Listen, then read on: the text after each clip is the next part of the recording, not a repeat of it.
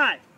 Oh, Here we are at uh, Victoria, Minnesota skate park where uh, Wonder Boy Adam Iversen is about to do a full circuit of the skate park and attempting a monstrous three and a half foot gap jump over the what they call is the Iversen gap Now- after this one, fellas, right? Now, right? right. now, Nate, what we've seen in the past few weeks, some jumpers have attempted some jumps, not quite as big as this, but certainly up there in that level, and they haven't been able to complete it. How do you think Adam is going to cope with such a monstrous gap today? Well, I think he's going to attack that gap with ferociousness. And I mean, he's seen he's seen many people succeed and fail, mostly the latter, at trying this jump. So he knows what works and more importantly, what doesn't work.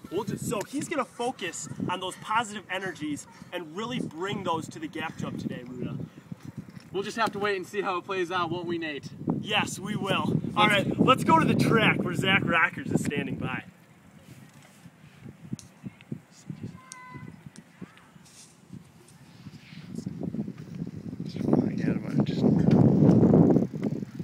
All right, Ivy, round Here the comes- corner now. Here comes Adam Iversen rounding the corner. He has to gate a little momentum before he goes off of his jump. Yeah, he's, he's going to take another What a what an incredible athlete! will be the Look at the thighs. Look at the calves. Here he goes.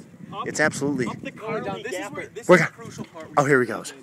This is where he's Here comes the really jump. gonna do a focus. He really gauges speed.